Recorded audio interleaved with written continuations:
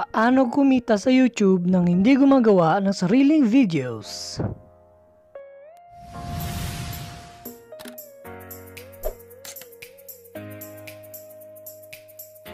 Bago natin simulan mga kaibigan ng tutorial ay make sure na nakasubscribe ka na sa ating channel.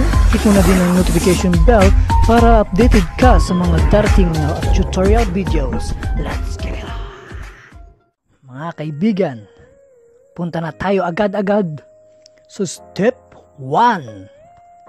Step 1 ay kung saan gumawa ka ng sarili mong YouTube channel. Alam mo naman na siguro kung paano gumawa ng YouTube channel, di ba? Kaya wala, nasabi ko lang. Kaya jump na tayo sa step 2. Step 2 mga kaibigan ay mag-search ka kung anong gusto mong i-upload doon sa search box.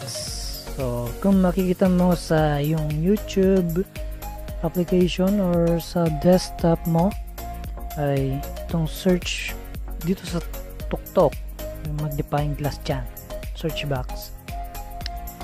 So mag search tayo na kung ano. And let's say Manila Bay. Ayan Manila Bay. Pagka search mo punta na tayo agad sa step 3 step 3 mga kaibigan ay pindutin lamang ang nasa gilid ng search box sa may upper right corner na may tatlong linya Ayan. Hanapin lamang po yan ang nasa tuktok. Ayan po yung nasa tuktok. Yan, yan, yan, yan. Ayan. And then, hanapin po ang Creative Commons. Ayan, Creative Commons. And then, apply. Para mag-apply ka sa broad. Ayan. As you can see mga kaibigan, madaming mga Creative Commons videos. And, uh, maghanap lang po kung anong gusto nyo. Example lang naman to. And then to sabihin mo lang to. Yan. Kaya, gusto, kung gusto nyo panoorin mga kaibigan pwede rin. Pero ako hindi ko na ipi-play yan. Hanapin mo lang ting, para makasigurado ka na talagang Creative Commons ay tignan mo yung category license so yan po siya mga kaibigan Creative Commons Attribute License Reuse Allowed So, ibig sabihin, ang Creative Commons pala ay pwedeng gamitin ng libre. Hindi ka po makaka-copyright po dyan kasi ang nakalagay po dyan, reuse allowed, mga kaibigan.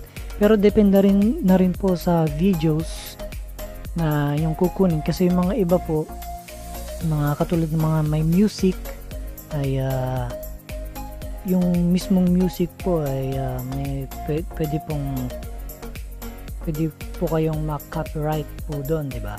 So, nang sa gayon ay uh, punta na po tayo sa step 4. Step 4 po ay pindutin lamang po ang uh, share na paaraw pa pakanan. Ito po, pindutin po yan. And then, click nyo lang po tong copy link. Ito, copy link. Yan. Pagkatapos po dyan, alis na po tayo sa YouTube. Yan, alis mo tayo. Tapos punta po tayo sa browser. Ayan po napakaganda kong girlfriend. Yan. Kahit ano pong browser ang gamitin nyo, sa akin po kasi ang ginagamit ko po ay uh, UC browser. Yan. Search nyo lang po sa Google ang uh, YouTube Converter. Ayan, YouTube Converter. And then, itong onlinevideoconverter.com ang piliin nyo po mga kaibigan kasi proven and tested ko na po siya. Matagal ko na pong ginagamit. Then, yung kinapil link po natin kanina, ipipaste lang po natin to and hold natin in 3 seconds and 0.5. Yan. Paste po natin dyan and then start. I-generate niya po yung mga kin mga files. Ewan ko kung anong files yan. Yan. 100% natutuo. Ayan. And then syempre download di ba download ayan download yan download Pero sa UC browser mga kaibigan, pag magpipindot ko po yung download, always magpa-pop up sila sada sa Play Store. So, tanggalin lang po natin yan. Tanggal. And then, yung isang tab na nagpa-pop up din. Then, yan. Download. Download. Yan. Yan. Sample lang naman yan, pero hindi ka download yung ano. Pagka-download nyo na po, pwede nyo na pong ulit siyang i-post sa YouTube. Yan. At that's it, mga kaibigan.